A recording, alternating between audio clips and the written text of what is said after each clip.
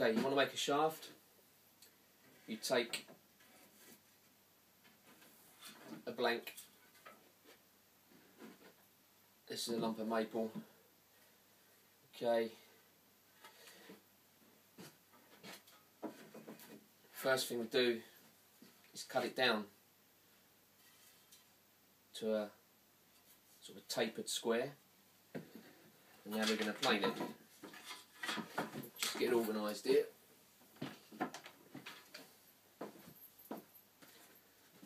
Mask.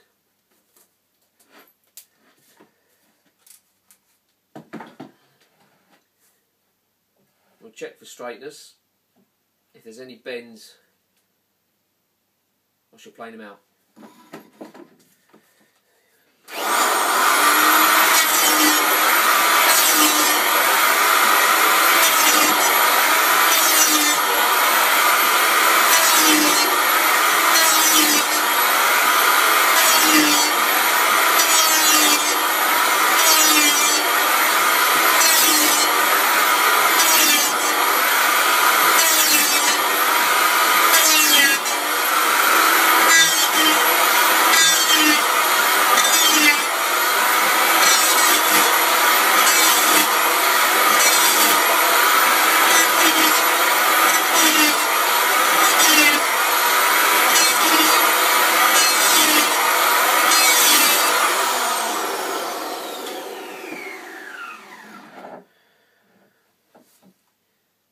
First thing I'm doing is taking the corners off, keeping an eye on it.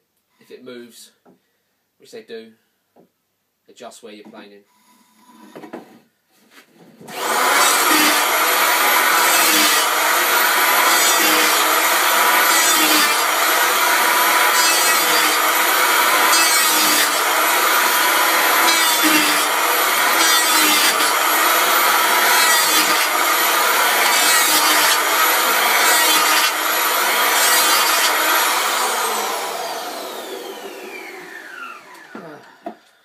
Okay. I'm getting there.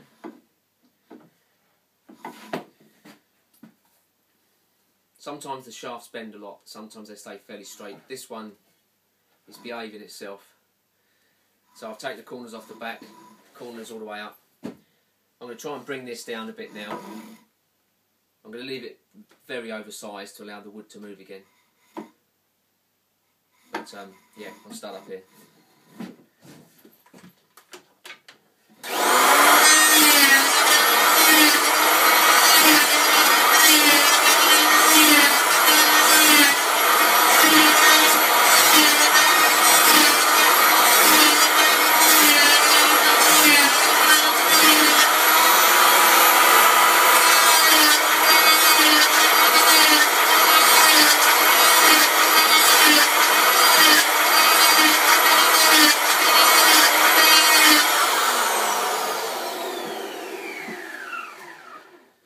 Always doing a bit at a time. Checking your straightness. There you go. That's not bad. At the same time, this is when you start to find out if the, if the wood's any good. Um, this looks quite clean. Looks like it might be a nice, nice bit of maple. This one.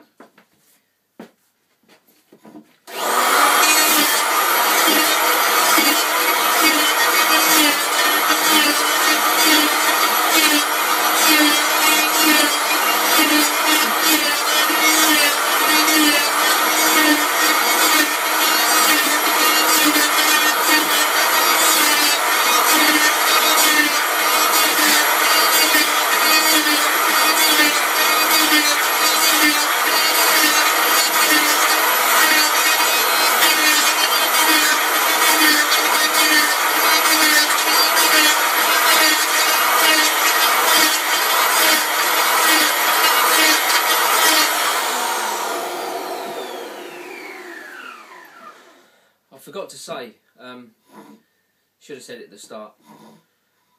With this hand, I'm turning this all the time. I don't know if you could see that, but as I'm moving the plane, I'm turning the wood constantly so that I'm, I'm getting it reasonably round as I go.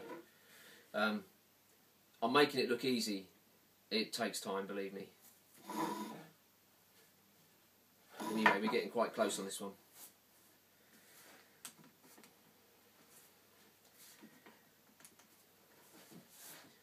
I'm going to take um, not such a deep cut this time because I'm getting quite close to where I want it, which is at least three or four mil oversize. So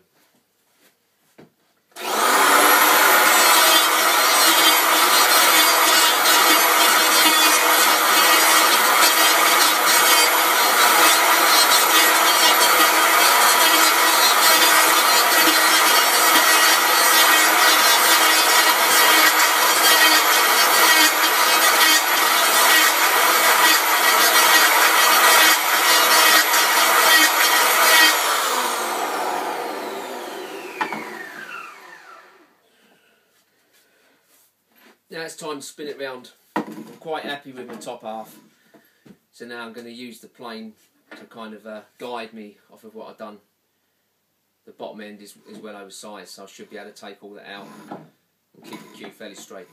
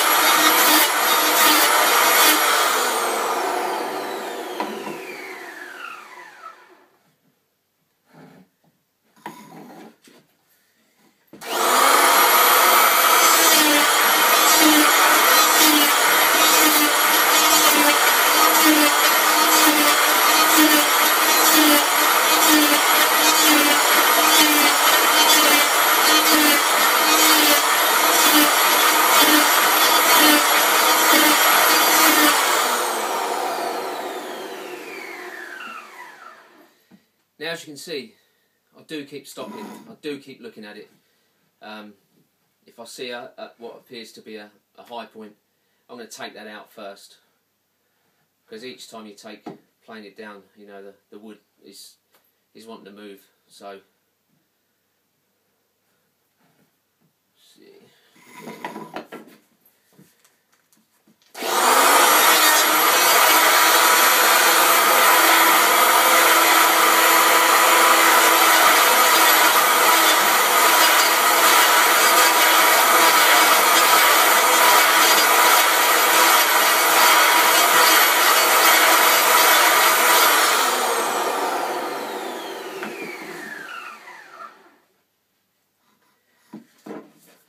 Now when I've got got down to something that's approaching round and I've taken off every little high point, that's when I'm going to reduce my cut on there.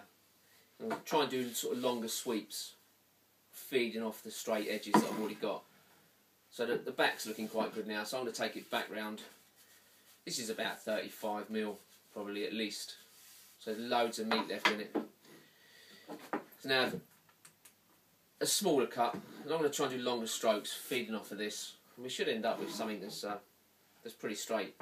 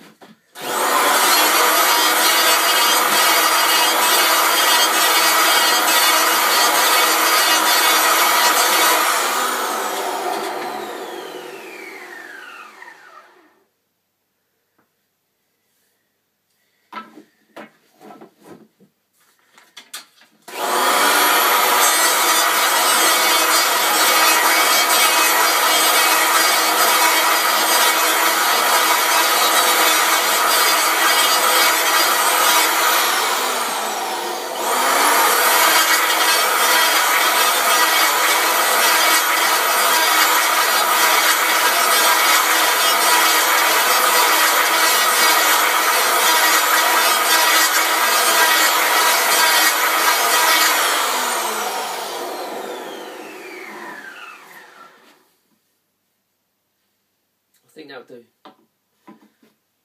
Voila. There we go. That's a reasonably round shaft in the first stage of preparation. Like I say, that's about at least sort of three, four, five mil over size. Just, just roughly. Now I'm going to leave that for well, as long as you can, weeks, months. Just, just put them to one side. Just see if they move, and then they come back for the final shaping, and uh, should be alright. Looks like quite a nice bit of maple.